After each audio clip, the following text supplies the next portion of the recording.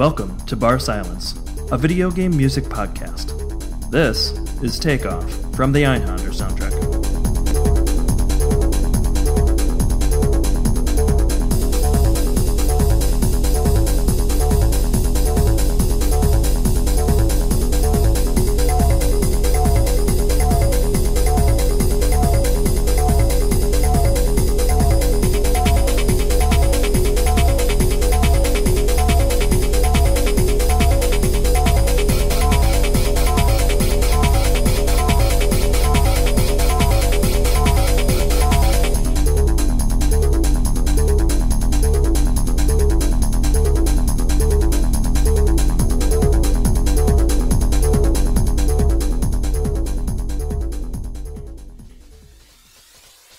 To the introductory episode of Bar Silence. My name is Jameson, and I'm the host of this show.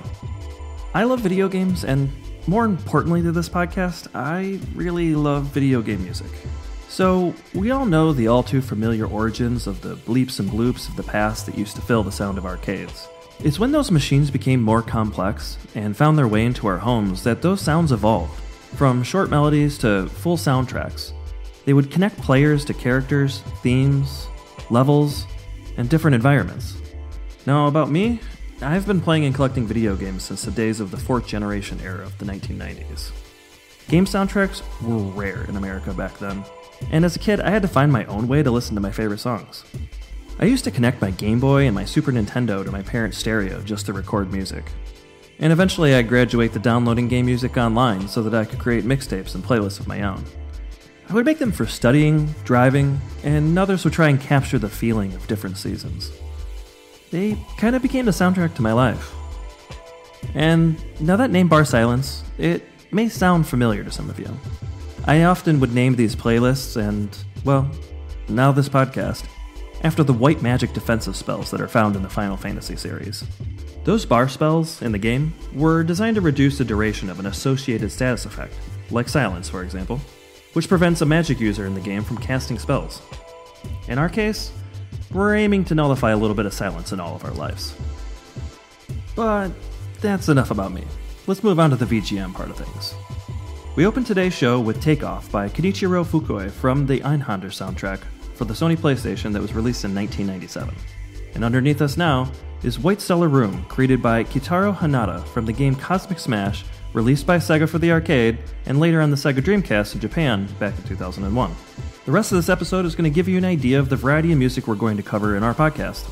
The goal is to discover a lot of new music across a broad set of decades and consoles. But don't worry, we will be covering some favorites too. All the tracks featured in this episode will be detailed in the show notes, so you can read along if you want to. But we're going to dive right into this next block of tunes, and I'll be back right after that. I hope you enjoy.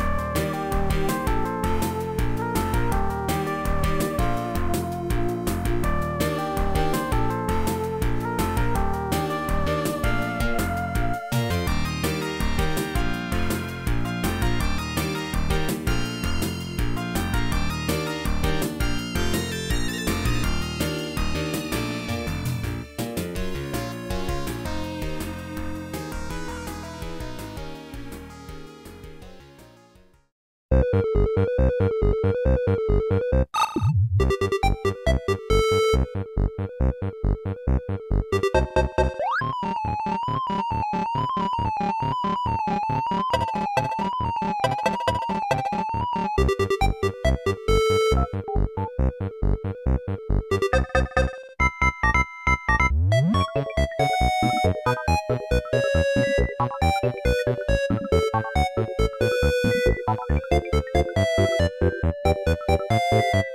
you.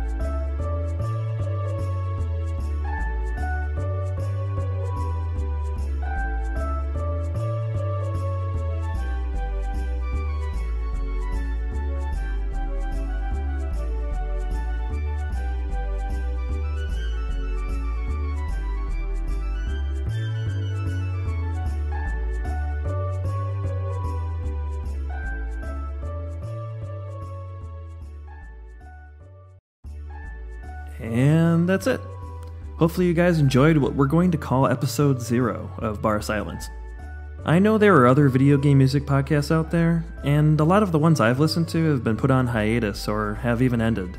So I want to thank you for listening to this show. For me, this is my way of staying connected to my lifelong hobby of gaming, discovering new music, and sharing some of my favorites with a community of listeners who share that exact same enthusiasm. If you're interested in letting me know what you think, you can find this podcast on Twitter at BarSilenceVGM. I'll be posting information on episode releases as well as various information about any of the games featured in today's episode. And to wrap everything up, I wanted to end this episode on a high note with one of my favorites from the Sega Dreamcast. Here's Welcome to Station Square from Sonic Adventure by Jun Senoue. I'll see you next time.